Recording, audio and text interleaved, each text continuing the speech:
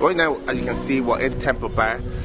The place is dead during this pandemic. Everything is closed, and uh, we're in here, like I said, to ask a few questions, ask a few people, and see how this has affected them. I ended up on uh, homeless on the streets. Okay. I am um, sleeping. I'm sleeping uh, like in doorways at the moment since the 11th of March.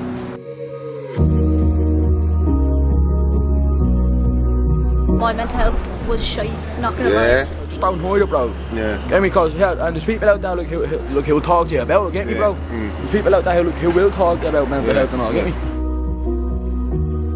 You have to express your feelings. If you don't talk, it's good to talk. You know what I mean? Even if you don't know the person. Uh, I tell you now, it wasn't too bad with it. I have to be honest with you.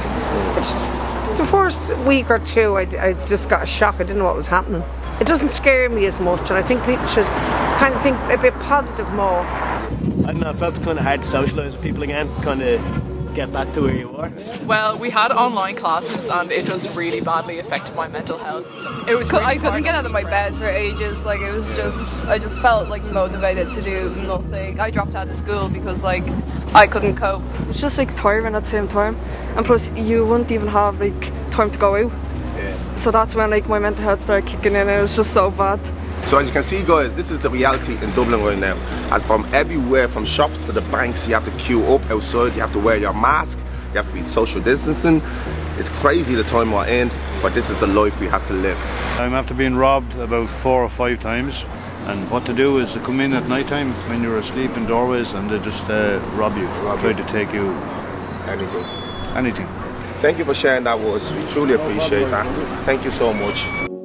When I open the store, just not knowing how much you're gonna make, it's gonna be a busy day. Even though a lot of people look at us like, oh, you must be successful or no, because you have a shop. But it's not like that. It's just there's a lot of stress that comes with it, and a lot of sleepless night, and a lot of people look up to me. But deep down, I'm nervous every day about it. Also, I just want to say, like, the government are also defunding loads of eating disorder clinics at the moment, Yeah. Yeah. and that is a huge problem Yeah. among like adolescent people.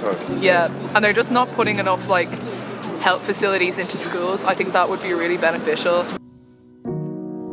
Guys, as you can see there, we're just on the way out of town. Um, it was very overwhelming. Everybody's affected by it, and there's a lot of emotions. There's a lot of people conflicted, and um, it's sad to see. It's a sad time for all of us. We're all not alone. We're all going through the same thing. So make sure to stay tuned for our next project. I'd like to see us on the next one.